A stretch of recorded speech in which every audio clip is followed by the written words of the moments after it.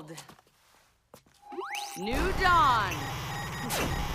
DedSec decided to dig into the Church of the New Dawn and found crime and corruption at its core. They purchased large amounts of personal data to better target their enemies. They may already have a file on you. We will proceed to leak everything we collected to our usual dispatches. Read them, Read them. verify them.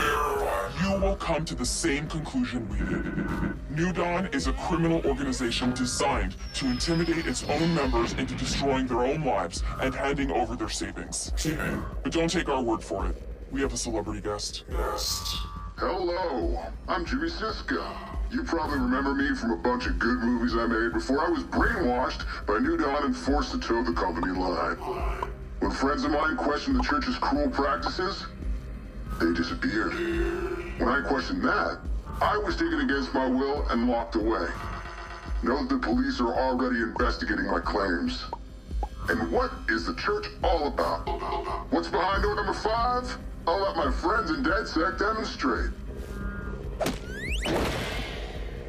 DedSec has given you the truth.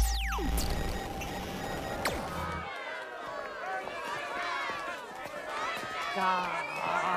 Come on, guys. You're fucking welcome.